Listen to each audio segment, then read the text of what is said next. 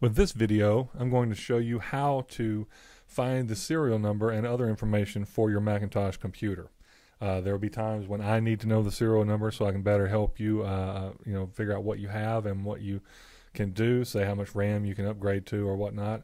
Or there may be times when you need the serial number to find out things about your computer yourself.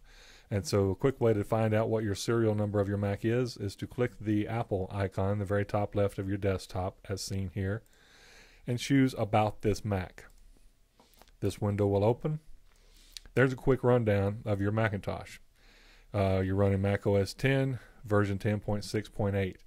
That's what the processor is on this iMac. That's how much RAM I have installed, and that's what type of RAM it is. And there's the name of my startup disk or my boot disk.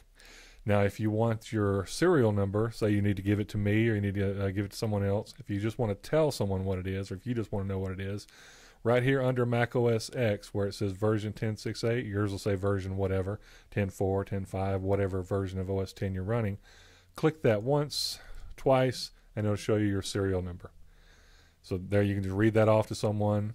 Um, but the only downside is this will show you what it is, but it won't let you copy the text. So if you need to copy the text and email it to me or email it to someone else, click the More Info button.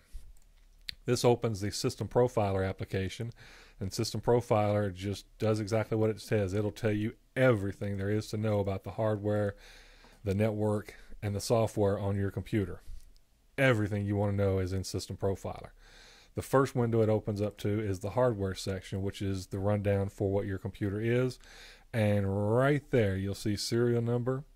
And this you can highlight and copy and email it to me or email it to someone else. And that way we can find out everything there's to know about your computer and better help you choose upgrades or, or, or you know, find repair options for your computer.